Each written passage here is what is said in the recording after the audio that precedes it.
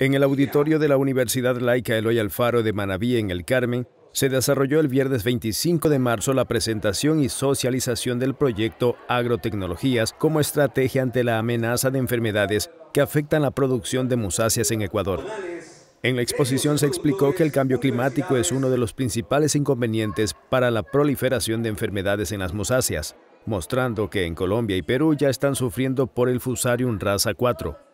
Según el mapa de riesgo, muestra que no estamos lejos de vivir esa realidad en nuestro país. Lo que nosotros tenemos como fortaleza... Ante esto, el proyecto propone la implementación de tecnologías, estrategias y capacitación a los productores y agricultores. Así lo manifiesta Luis Alberto Duisela, director de la Estación Experimental INIAP Puerto Viejo.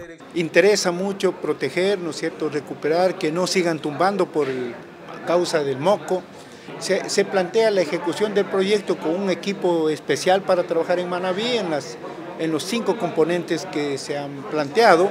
Empezamos con un diagnóstico, vamos un poco a trabajar en los temas de mejora genética, en los temas del desarrollo de, biotecnologías, micropropagación, parte de, la, de las herramientas tecnológicas para la agricultura 4.0 y la transferencia de tecnología. Ante el eminente problema que representa el uso de químicos en la agricultura, los profesionales proponen una mejora genética como base principal para hacerle frente a las enfermedades. Ver las alternativas, ¿no es cierto? Dice las alternativas tecnológicas.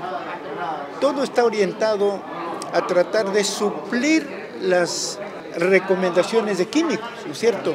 Porque vemos que también tiene sus impactos negativos al ambiente, a la propia inocuidad del, producto. Víctor Hugo Cardoso es director de Transferencia y Tecnologías de INIAP Viejo. Habla que el diagnóstico en los campos productores de musáceas del Ecuador es importante para implementar el proyecto. Una de las herramientas son las escuelas de campo. ¿Qué es una escuela de campo? Básicamente es un grupo de productores interesados en donde van a ir recibiendo toda la capacitación, validando toda la tecnología generada y a la final son los primeros receptores de la tecnología que va generando el proyecto. Luis Alberto manifiesta que el Fusarium llegará en algún momento a Ecuador, por eso necesitan prepararse con tiempo para hacerle frente a esta plaga. Precisamente por eso tenemos que prepararnos y ese es uno de los objetivos del, del, del proyecto, ¿no es cierto?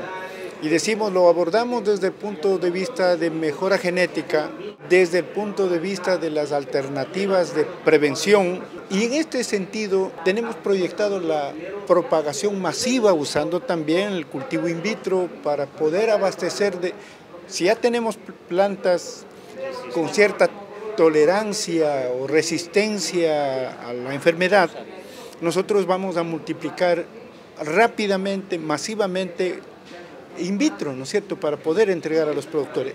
Una de las tecnologías para obtener bases de datos detallados y sólidos podría ser el uso de drones para identificar enfermedades y el estado del suelo, y así actuar de forma oportuna y más eficiente. Pero para ello tienen que primero desarrollar toda una secuencia de fotografías y de, de información básica para que el dron pueda, eh, con inteligencia artificial, ir detectando todo eso. Entonces, ¿qué pasa? El dron pasará por las plantaciones identificando cuáles están en buen estado, cuáles ya están con problemas, la humedad del suelo, si hace falta riego o no hace falta riego. Para Ciudad al Día, Over Mendoza.